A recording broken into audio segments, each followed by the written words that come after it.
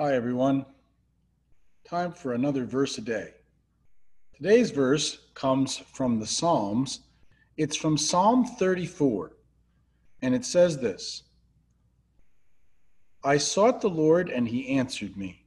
He delivered me from my fears. Those who look to him are radiant, their faces are never covered with shame. This poor man called, and the Lord heard him. He saved him from his troubles. The angel of the Lord encamps around those who fear him, and he delivers them. I like that part that talks about radiance. Um, I probably, as a human being, have a tendency to be a bit of a pessimist.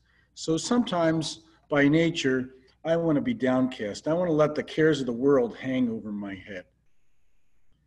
But God is gracious and and he sees through that and he sees that he can bring joy to my heart. And so he reminds me hey phil you're not the one who's in control. I'm in control. And my angel as it says in the text camps around you. He is watching over you. He is making sure you take the right steps. He's he's helping guide you and lead you. And my holy spirit is within you. So don't be sad. Don't let the anxieties hang over your head. Be radiant. Be filled with joy because you have a reason to. God, the God who sent Jesus, loves you beyond belief. That's the verse for the day. Have a good day. We'll see you again tomorrow.